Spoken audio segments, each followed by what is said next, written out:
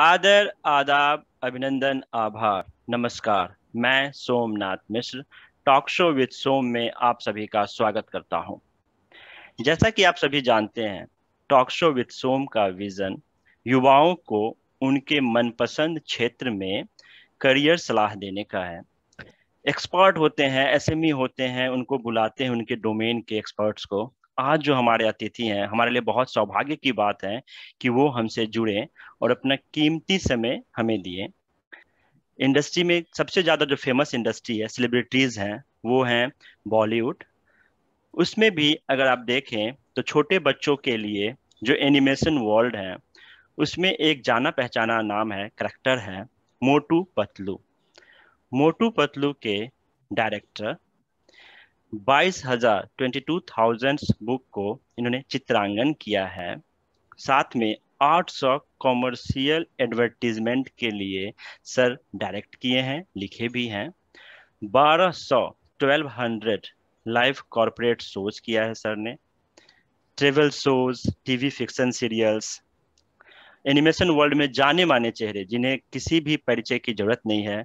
लोग मोटू पतलू का नाम लेते ही सर को जान जाते हैं। सर का नाम लेते ही मोटू पतलू और सारे इनके किए गए कार्य को समझ जाते हैं। सर ने दो मूवी, छोटी मूवी जो है, खोज और डार्क मिरर, पहली बार इंडस्ट्री में मोबाइल फ़ोन का यूज़ किया गया कैमरा का, इसकी रिकॉर्डिंग के लिए। ये श्रेय सर को ही जाता है। सर को बहुत सारे राष्ट्रीय और अंतर्राष्ट्रीय अवार्ड दिया गया है। इसके अलावा सर को डिग्री ऑफ़ डॉक्टरेट की उपाधि दी गई है विक्टोरिया ग्लोबल यूनिवर्सिटी यूएसए से। मैं ज़्यादा समय ना लूँगा, क्योंकि मैं ज़्यादा से ज़्यादा चाहूँगा सर बोले और हमारे देखने वाले व्यूअर्स सर की एक एक शब्दों से सीखें, उनका मार्गदर्शन हो। तो आइए आप लोगों के साथ मैं स्वागत करता हूँ डॉक्टर हरविंदर मानकर जी का। सर, स्वागत है टॉक शो विद सोम में। नमस्कार नमस्कार। सर, ये तो मैं, मेरे लिए बहुत सौभाग्य की बात है कि आप आए। आपने अपना समय दिया इस मेरे शो के लिए और युवाओं को आप अपना मार्गदर्शन करेंगे। आप ये बताएँ कि आपको एज ए कार्टूनिस्ट में, एनिमेशन वर्ल्ड में जाने का आइडिया कैसे लगा? दरअसल क्या है, मेरी कहानी जो लोग जानते हैं, वो समझते हैं कि मुझे कहीं कुछ नहीं मालूम था। ये बहुत, मैं महज बारह तेरह साल का था जब मैंने ड्राइंग्स करनी शुरू की। कभी कोयले से कभी चौक से कभी पटरी पे कभी पेंसिल से तो धीरे धीरे वो शौक था जो उस जमाने में ना तो आपके कंप्यूटर हुआ करते थे ना ही कोई और साधन होते थे। तो उसमें मैगजीन्स आती थी मधु मुस्कान पराग नंदन चंपक लोट लोटपोट। तो मैंने बारह तेरह साल का होगा तो पहला मोटू पतलू बनाया था उस समय। मुझे मौका मिल गया किस्मत से क्योंकि तो वो उस समय से वो शुरू हुए तो एज ए पब्लिकेशन में ही एज ए कार्टूनिस्ट काम चलता था। मधु मुस्कान में भी काफ़ी करेक्टर्स आए कॉमिक्स बहुत किए नूतन किए या मनोज राज कॉमिक्स दुनिया भर के। धीरे धीरे जैसे ही टेक्नोलॉजी अपना चेंज लेती है अपना वक्त बदलती है तो आपको उसके साथ अपडेट होना पड़ता है। जी। जो लोग अपडेट हो जाते हैं वो कंटिन्यू चलते रहते हैं। जो लोग अपडेट नहीं हो पाते फिर वो वहीं के वहीं जहाँ तक होते हैं रुक जाते हैं। मेरी खुशकिस्मती रही कि मैं अपडेट होता चला गया और उसके साथ फिर टू एनिमेशन में हमने मोटू पतलू को बनाया फिर पपेट में बनाया मपेट में बनाया फिर थ्री आ गया और आज आप देखते ही हैं कि केतन मेहता जी के माया के साथ मिलके हम लोग उसको टीवी पे ला ही रहे हैं। बिल्कुल। तो एक करेक्टर्स को आप 40-45 साल से लिख रहे हो ड्रा कर रहे हो तो वो आपकी रगों में बस जाता है वो आपके ब्लड में एक तरह से शामिल हो जाता है उसके लिए आपको सोचना नहीं पड़ता। तो बस सिर्फ़ कहना यही है कि जो भी काम करो इसलिए नहीं करो कि ये चाहिए इसलिए करो कि आपको काम करना है लगन से करना है हंड्रेड परसेंट देना है तो वन डे वो अपने आप एक फ्रेमिंग ले लेता है आइकॉन बन जाते हैं वो समय बताता है। जिन्हें समय का इंतज़ार करना आता है जिन्हें समय के साथ चलना आता है जिन्हें समय की कदर करनी आती है वही इंसान सफल होते हैं वो चाहे आप हो चाहे मैं हूँ चाहे कोई भी हो इस दुनिया अपने वक्त को एक टारगेट दीजिए गोल दीजिए अपनी ज़िंदगी को सिर्फ़ सोकर लेट नाइट फ़िल्में देखकर गेमें खेलकर और अगर आपने उस पर ही आपको बिताना है तो फिर आप दूसरों को सुनते रह जाओगे। मैं चाहता हूँ कि जो ये सुन रहे हैं या देख रहे हैं कल वो इस लायक बने कि उनको लोग देखें और सुने। तो ये मकसद हल होता है आपके शो का भी और उनकी ज़िंदगी का। बहुत सही कहा आपने सर। मतलब जब आप 12 साल की उम्र में थे, जनरली 12 साल की एज में बच्चे खेलने, कूदने में समय बिता देते हैं। लेकिन आपने ऐसा एक मोटू पतलू बना दिया कि किसी भी घर में, जिस घर में भी छोटे बच्चे हैं, मोटू पतलू का नाम लो तो वो दोनों के चेहरे याद आ ही जाते हैं। बिल्कुल सही। तो सर ये बताएँ कि जैसे आपने एक नया आविष्कार किया, मोबाइल कैमरे से आपने खोज मूवी बनाई और ये बनाई तो इन सब का आइडिया के लिए आप क्या करते हैं? मतलब ऐसा क्या कुछ एक्स्ट्रा मेडिटेशन करते हैं या सोच इनोवेशन क्या करते हैं आप? हाँ बहुत कुछ एक्स्ट्रा ये होता है कि जब मैंने ये देखा इतने वर्ष काम करने के बाद, हिंदी फ़िल्में करी, हॉलीवुड करा, कि लोग अक्सर मेरे को एक्सक्यूज देते रहते हैं कि यार हम बहुत ताकतवर हैं, हम बहुत अक्ल है। अगर अगर यू नो मेरे पास कैमरा होता, अगर मेरे को मौका मिला होता, अगर मेरे पास हाई वाई बीम्स लाइट होती अगर मैं बड़े स्टूडियो में शूट करता तो ये जब अगर एक्सक्यूज आते हैं तो फिर वहाँ आप काम नहीं कर सकते। फिर मैंने सोचा कर ये एक्सक्यूज खत्म करने के लिए हमने इसको प्रयोग किया तो हमने मैंने अपने मोबाइल ही से पूरी फ़िल्म हमने शूट भी करी एक्सपेरिमेंट के तौर पे। पहले खोज। वो एक एक्सपेरिमेंटल था। उसमें हमें नहीं पता था रिज़ल्ट क्या आने वाला है। हमने उस पर एडिट भी किया म्यूज़िक भी डाला प्रॉपर सॉन्ग डाला, और वो फ़िल्म खुशकिस्मती से हिट हो गई। और फिर मैंने डार्क मिरर बनाई जो तीस अवार्ड जीते इसने दुनिया के अंदर। और वो प्रॉपरली पूरा म्यूज़िक है तीन गजलें हैं उसके अंदर बहुत कुछ है उसके अंदर। तो वो अपने आप में कहानी है। कहने का सिर्फ़ यही तात्पर्य है कि आप जब वो काम कर, करना चाहो तो आपको ज़रूरी नहीं सारे साधन उपलब्ध हों। आप कई बारी कम साधनों में भी बहुत अच्छा काम कर सकते हैं। जब कोई आज हम हवाई जहाज़ पे या एरोप्लेन पे उड़ के आप दुनिया के किसी कोने में जाते हैं लेकिन जिसने पहले बनाया होगा ना तो उसने ऐसा हवाई जहाज़ नहीं बनाया होगा। वो कम साधनों में उसने टेढ़ा टेढ़ा तो आपको कर, कोशिश क्रिएटिव वर्क की करनी चाहिए। जब आप क्रिएटिव हो तो आपको फिर कोई एक्सक्यूज नहीं होता। जब और मेरा तो मोटो ही है जो काम मेरे को आता है वो तो मैं करता ही करता हूँ। और जो मुझे नहीं आता वो मैं डेफिनेटली करता हूँ। तभी सीख हो गया क्योंकि जब आपको काम नहीं आता कह के हट जाओगे। नेचुरली जो आज की युवा पीढ़ी का आंसर होता है हमें आदत नहीं है। हमने कभी किया नहीं है। हम तो ऐशो पसंद में पले हैं हमने कभी घर का काम नहीं किया हमने तो कभी पानी का गिलास उठा के नहीं किया। सर कोई ज़िंदगी में सारे काम पैदा होकर पेट से नहीं सीख गया। पहली बार। करने पड़ते हैं और काम करने से ना कोई छोटा होता है ना किसी का सर झुकता है क्योंकि कद बड़ा नहीं करते एड़ियाँ उठाने से कद बड़ा नहीं करते, एड़िया उठाने से कद ऊँचे होते हैं, सर झुकाने से। जब आप हलीमी में आते हो, विनम्रता में आते हो, सीखते हो, दूसरे को रिस्पेक्ट देते हो, उससे अगर आपको किसी से कुछ लेना है तो आपको झुकना ही पड़ेगा। अकड़ के आप किसी से कुछ नहीं ले सकते। मोहब्बत से आप उसको पूरा कंगाल कर सकते जी। बिल्कुल सही बिल्कुल सही कहा सर आपने। तो सर हमारे जो युवा जो चाहते हैं कि अगर कार्टनिस्ट में अपना करियर बनाना चाहें तो उनके लिए बेसिक कुछ क्वालिफिकेशन होती है? कुछ ऐसा कि ये करके आओ फिर मिलेगा या फिर कुछ क्रिएटिविटी बना के लाओ क्या होता है उनके साथ? नेचुरली आज के वक्त में टेक्निक बहुत स्ट्रांग हो चुकी है तो आज के वक्त में तो आपको अच्छा सीख के आ सकते हैं। बहुत सारे एनिमेशन स्टूडियोज हैं बहुत सारे कॉलेज हैं। आपको जो सिखाते हैं क्योंकि आप बिना सीखे तो आप क्योंकि आपको क्वालिटी वर्क देना है तो आपको बेसिक सीख के आना ही पड़ेगा। वो वक्त हमारा चला गया कि हम सीखते सीखते सीख गए। अब क्योंकि इतना पेशेंस किसी में नहीं है आप अब आप सीधे फ़ील्ड में आना चाहते हैं लोग और सीधे तनख्वाह कमाना चाहते हैं। तो अगर आप अर्निंग भी चाहते हैं और सीधे आएँगे तो नेचुरली आपको प्रिपेयर होना ही पड़ेगा। ऐसी बहुत सारी जगहें हैं जहाँ अच्छे अच्छा एनिमेशन सिखाया जाता है। थ्री भी सिखाया जाता है गेमिंग भी सिखाई जाती है तो आपको प्रॉपर टेक्निक लेके ही फ़ील्ड में उतरना चाहिए। या फिर आपके पास पेशेंस है, आप ठीक है, एक एक, किसी भी स्टूडियो में लग जाते हैं और धीरे धीरे धीरे धीरे सीख जाते हैं, वो अपनी अपनी एक पावर के ऊपर अपने अपने पेशेंस के जी। तो सर, ये बताएँ कि जो एनिमेशन में आना चाहते हैं तो अपने एनिमेशन की कुछ कोर्स कर लेंगे, और क्या क्या चांसेस है? मतलब किस किस डोमेन के लोग इसमें तैयारी कर सकते हैं, कैसे आ सकते हैं? बहुत फ़ील्ड में बहुत कुछ होता है हर फ़ील्ड में बहुत कुछ होता है। हम्म। आप सिर्फ़ एनिमेशन नहीं होता उसमें स्क्रिप्ट होता है उसमें स्टोरी बोर्ड होता है उसमें करेक्टराइजेशन बनाना होता है। अगर आप एनिमेशन की बात एनिमेशन के फ़िल्म में भी यही होता है।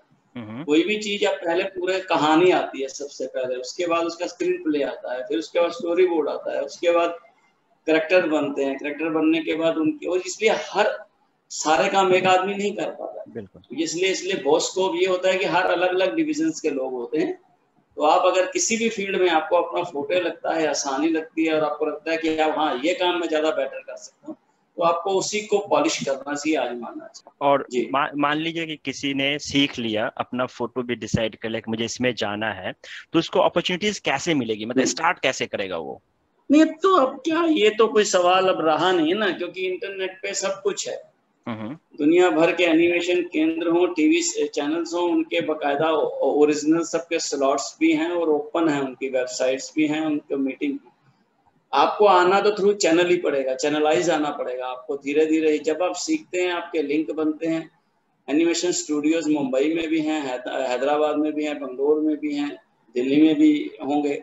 तो आपको नेचुरली वहीं से धीरे धीरे धीरे धीरे धीरे काम करते हुए आगे बढ़ना है। सीधे तो आप नहीं, आप बोले मुझे सीधे अपना एक एनिमेशन लेके टीवी पे डाल देना तो इट्स नॉट पॉसिबल आपको सिस्टमेटिक ही आपको आगे बढ़ना है। आपको आगे बढ़ते हैं, आप एक मीटिंग लेते हैं, आप उनसे बात करते हैं तो वो आपको धीरे धीरे धीरे हर रिक्वायरमेंट का पता लगता रहता है। फिर आप उसी रिक्वायरमेंट के हिसाब से अपना पोर्टफोलियो एड ऑन करते हैं। जैसे जैसे आपकी चैनल होगी तो आप अपने यहाँ भी कुछ फ्रेशर्स को मौका देते हो अगर कोई फ्रेशर आपके साथ काम करना चाहे कि वो चाहे कि आपके साथ जुड़ के काम करना क्योंकि आप अनुभवी हैं तो ऐसा कोई अपॉर्चुनिटीज़ है उनके लिए? ऐसा नहीं है आते हैं लोग लेकिन वही है ना हमारा चैनल ही माया स्टूडियो मुंबई के अंदर जहाँ पे सभी ये बनता है मोटू बदलू की अगर मैं बात करूँ तो। हम्म, हम्म, हम्म। तो उनको वहीं संपर्क करना पड़ेगा माया वालों से केतन मेहता जी से। अनीश जी। जो भी वहाँ पे बड़े हैं। वही लोग उनको बताएँगे अगर उनके अंदर उनका कैलिबर आपके अंदर अच्छा है आप उस काबिल हो तो क्यों नहीं वो रखेंगे? ओके क्योंकि. सिफारिश और नाम से आपका कोई काम नहीं होता आपकी ताकत आपका काम होता है। आपकी काबिलियत तो आप सीधे अपना अपने बल पे अपनी पूरी ईमानदारी से अपनी पूरी ताकत से अपने पूरे विश्वास से जाइए अगर आपको लगता है कि आप काबिल हैं। अगर नहीं भी हैं थोड़ी कमियाँ भी हैं तो वो करते करते सुधर जाती हैं। पॉजिटिव होना चाहिए। आपको हमेशा सोचना चाहिए आप कर लोगे। हम्म, हम्म। अगर आप कर लोगे सोचोगे तो कोई काम मुश्किल नहीं होगा। अगर आप सोचोगे ये बहुत मुश्किल है तो फिर कोई काम आसान नहीं होगा। बिल्कुल सही कहा सर आपने। तो सर आपने जैसे बाईस हज़ार किताबें जिसका चित्रांकन किया तो ट्वेंटी टू थाउज़ेंड अगर एक किताब भी रोज लिखे तो सालों बीत जाएँगे। तो इसके लिए इतना डेडिकेशन पैशन कैसे सर आप करते हैं अपने आप में? कैसे लाते हैं? मैंने कोई रिकॉर्ड बनाने के लिए ऐसा काम नहीं किया। ये तो काउंटिंग बाद में की जाती है जब हो जाता है। तो हमने तो एक एक दिन में सौ सौ किताबें भी करी है। वो एक वर्क करना है तो वर्क आर्डर के ऊपर होता है। मैंने सारा काम आर्डर पे किया है। मैंने शौकिया कोई काम किया नहीं आज तक। अच्छा। पब्लिकेशन हाउस के जब दिन थे तो उन दिनों लगभग इंडिया का हर पब्लिकेशन का मैं काम कर रहा था। तो आप एक महीने में अगर मान लीजिए 25 से 30 पब्लिकेशंस की 10-10 बुक भी बनाए तो सोचिए कहाँ तक जाती है। तो वो फिर उसके साथ टीम भी होती है आपकी। ऐसा नहीं आप अकेले ही बना रहे होते हो, आपके साथ पूरा एक स्टूडियो होता है।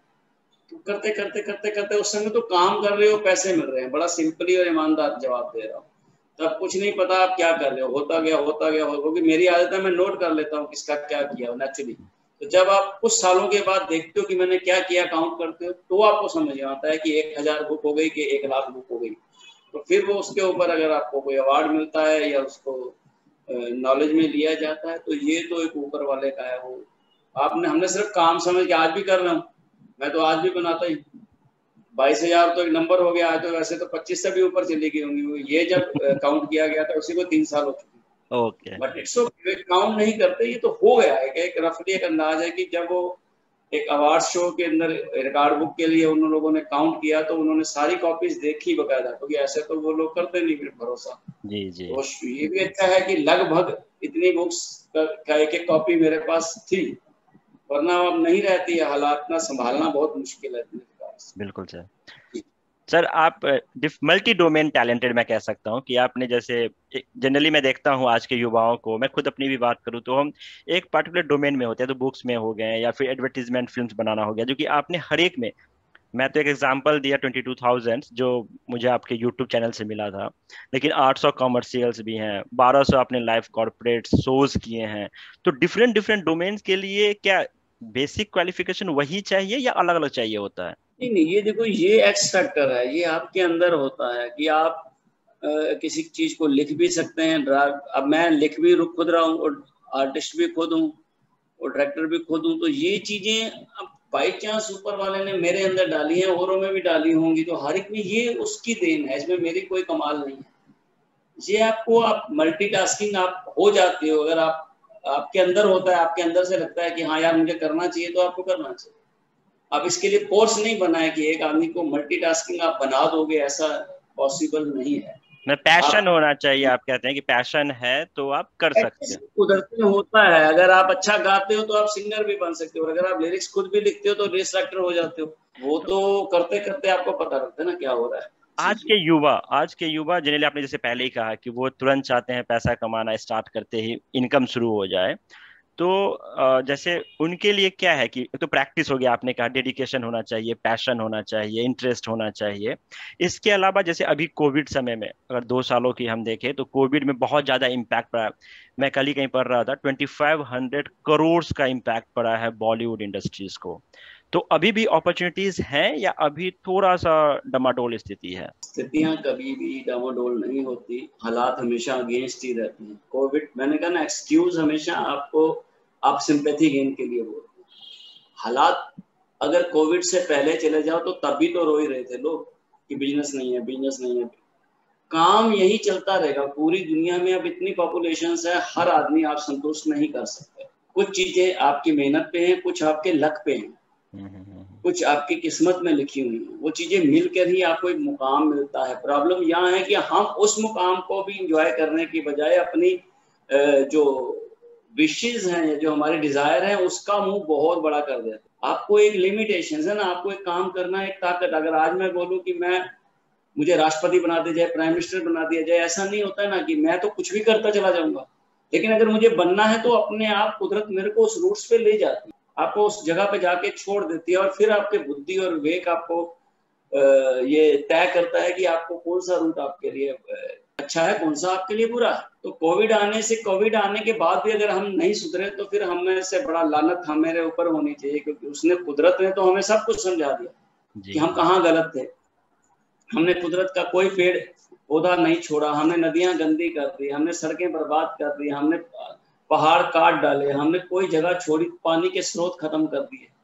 हमने सब कुछ मुफ़्त बांटने का एक सिलसिला शुरू कर दिया जबकि इस दुनिया में सबसे महँगा वो है जो मुफ़्त होता है। मैं एक बड़ी अगर आप देश को लूट के खाना चाहते हैं तो वो आपका देश है। कभी भी मुफ़्त कुछ मिल ही नहीं सकता इस देश के अंदर या इस दुनिया के किसी देश में। मैं आपसे दो रुपए की चीज़ दे रहा हूँ आप मुझसे दो रुपए लीजिए। जब आप मुझे मुफ़्त देंगे तो आप उस दो को कवर करने के लिए कहीं ना कहीं कहीं ना कहीं कुछ तो ऐसा करेंगे जो सारी स्थिति गड़बड़ा जाएगी आप बिल्कुल सही क्यों मुफ़्त दें? आप सस्ता कीजिए आप उसका ओरिजिनल रेट हमसे लीजिए मुनाफा कम कीजिए। हम या तो हमें मुनाफे में मिलती है दो वाले चीज़ दो लाख की या मिलती है बिल्कुल मुफ़्त। बीच का तो कोई रूट ही नहीं है। तो आने वाली पीढ़ियाँ हम बर्बाद कर रहे हैं। आप मुफ़्त कोरी की आदत हमेशा ले डूबेगी अगर युवा ये सोचता है कि हमें कोई चीज़ मुफ़्त मिलती है तो खुश हो रहा है नहीं वो हैंडीकैप हो रहा है। हर चीज़ का दाम अदा कीजिए। अगर ये देश नहीं रहेगा तो ये कुछ नहीं रहेगा। आज आप अपने बारे में सेल्फिश हो सकते हैं। आज आप ये सोच सकते हैं मेरे घर में बिजली मुफ़्त है मेरे घर में पानी मुफ़्त है मेरे घर में सब कुछ मुफ़्त है। एग्ज़ाम्पल दे रहा हूँ मैं किसी पार्टी विशेष की बात नहीं कर रहा। जी जी सर। जैसे बात कर रहा हूँ तो इसकी कीमत कोई ना कोई तो चुका ही रहा है। बिल्कुल। लेकिन आप सोचिए जो कीमत चुका रहा है आप उसको इतना निचोड़ेंगे कि एक दिन वो हाथ खड़े कर देगा तो फिर तो फिर क्या करोगे? हम्म, फिर सिस्टम खराब हो जाएगा। थोड़ा थोड़ा देश के लिए भी करना चाहिए। देश के लिए भी सोचना चाहिए। ये मत सोचो ना देश हमारे लिए क्या करता है? बहुत कुछ करता है। तो हमें अपने इसी तरह अपने बिज़नेस अपने काम में उम्मीदें बहुत हैं कि हमारा जो भी सुबह नाश्ते से लेके मरने तक का जीने तक का जो भी है वो गवर्नमेंट करे या कोई आ, कोई आके करे हम्म, हम्म। नहीं करेगा। आपको अपनी पैरों पे खुद खड़ा होना होगा अपनी कमाई खुद करनी होगी अपने कैलिबर को खुद चमकाना होगा। फिर आप गर्व से और बड़े अपने आत्मसम्मान से खड़े होंगे। बिल्कुल भीख में दी गई सोना भी आपको कभी संतुष्ट नहीं कर सकता नहीं कर सकता। जी बिल्कुल सही कहा आपने। उस किसी का भी वैल्यू होने पे लोग उसको फिर ध्यान देते हैं उसको देखते हैं। अगर ऐसे ही दो तो फिर वैल्यू नहीं होता। बिल्कुल सही कहा सर आपने। सर ये बताएँ कि कम्युनिकेशन स्किल्स क्या मायने रखता है आपके डोमेन में? नहीं बहुत मायने रखता है। कम्युनिकेशन स्किल आप में होना चाहिए। भाषा का कोई महत्व नहीं। है भाषा से नहीं फ़र्क पड़ता आपको इंग्लिश आती है नहीं आती है उर्दू आती है नहीं आती है हिंदी आती है। आपका कॉन्फिडेंस और आपकी जो जीके है और आपको हर चीज़ को समझने की एक अंदर एक इच्छा और जुनून होना चाहिए। मैं दुनिया के हर कोने में शोज़ करके आया हूँ जहाँ की मुझे भाषाएँ भी नहीं आती। नॉर्वे के अंदर हम लोगों ने बहुत काम किया, नॉर्वेरियन में इंटरव्यू दिए, मुझे मुझे कुछ समझ में नहीं आ रहा था, लेकिन आप कॉन्फिडेंस से अपने रहिए ना, ज़रूरी नहीं है। आपके देश की राष्ट्रभाषा हिंदी है और आप उसी में बच्चे से बड़े हुए हो तो ये कोई शर्म की बात नहीं है, ये गर्व की बात है। आप अपनी भाषा में बोलिए ना अगर वो लोग अपनी भाषा में बोल के आपसे क्वेश्चन पूछिए आप अपनी भाषा में उत्तर देना सीख उन्हें समझना चाहिए अगर आपको किसी को आंसर चाहिए तो ये उसकी समस्या है वो कैसे सुनेगा? मैं क्यों समस्या में हूँ? करेक्ट करेक्ट मैंने ऑस्ट्रेलिया हो जाए दुबई हो जाए जहाँ भी मेरी वर्कशॉप है मैं आज तक हिंदी में किए हैं। क्योंकि मेरी भाषा है मेरे देश की भाषा है और मैं कंफर्टेबल हूँ उसके अंदर। अच्छा यही रीजन है। तो ये आपकी समस्या है।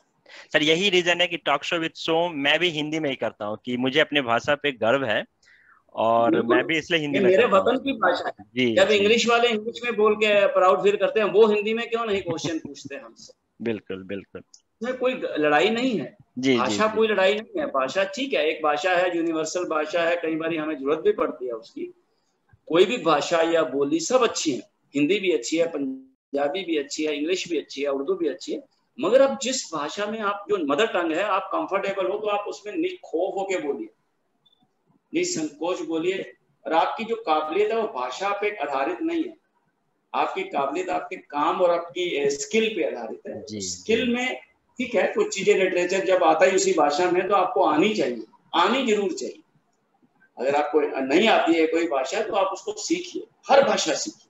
क्योंकि कई बार बहुत अच्छी चीज़ें फ्रेंच में होंगी आप नहीं समझ पाएँगे। बहुत अच्छी चीज़ें इंग्लिश में होंगी हम नहीं समझ ये एक अलग मुद्दा है ये लेकिन कंपलसरी कि अगर मैं अंग्रेज़ी पढ़ूँगा या मैं फ्रेंच करूँगा तो ही मैं पढ़ा लिखा कहलाऊँगा ये मुझे समझ में नहीं आता मैं इसको बिल्कुल सही। जी। जी, जी सर। सर ये बताएँ कि बहुत लोगों को ट्रेवल शोज़ नहीं पता। सर आपने ट्रेवल शोज़ भी किया है तो ट्रेवल शोज़ होता है क्या? उसमें क्या स्कोप्स हैं? ट्रेवल शोज़ वो होता है कि जब हम किसी भी जगह के बारे में जाके उसके अंदर उसका नेचर, उसका जो विरसा है, विरासत है, उसकी, वहाँ के मॉन्यूमेंट्स हैं, वहाँ का खाना पीना है, उसको हम कैप्चर करके लोगों को बताते हैं, क्योंकि हमने, हम दुनिया देखने चलते हैं, हमने हिंदुस्तान भी नहीं देखा। और मैं बड़े, अगर आप दिल्ली में रहते हैं तो मैं दिल्ली वालों से अगर पूछता हूँ तो उन्होंने आधे लोगों ने दिल्ली भी नहीं देखी, अभी तक लाल किला भी नहीं देखा होगा अंदर जा तो वो आफ्टर ऑल हर चीज़ की एक विरासत होती है एक उसका बहुत खूबसूरत स्वाद होता है। चांदनी चौक का एक अलग स्वाद है। एक स्वाद है मुंबई के गेटवे ऑफ़ इंडिया का एक अलग टेस्ट है अंधेरी का अलग टेस्ट है। ऑस्ट्रेलिया में अगर आप जाते हो तो वहाँ का एक अलग तो वो ट्रेवल शो होता है जगह जगह जाके कैप्चर्स करो उन लोगों से मिलो उन लोगों का संगीत उन लोगों की भाषा उन लोगों का खाना उन लोगों का व्यवहार।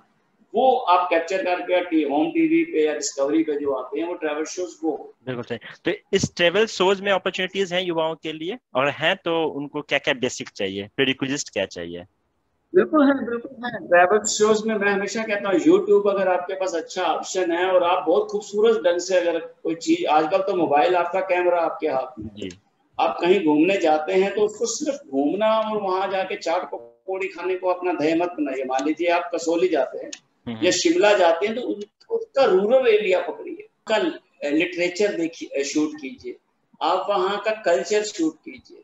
आप वहाँ की भाषा के में कुछ अच्छे बच्चों के गाने शूट वो ट्रैवल शो है। और आप अच्छा करेंगे तो मे भी डिस्कवरी मे भी होम टीवी मे भी और बहुत सारे चैनल्स हैं वो आपको कुछ ऐसा क्लिक हो जाए आपसे तो आपकी ज़िंदगी बदल दे। क्योंकि आप स्पेशली तो चाहते नहीं ना आप गए हुए हैं वहाँ पर जी।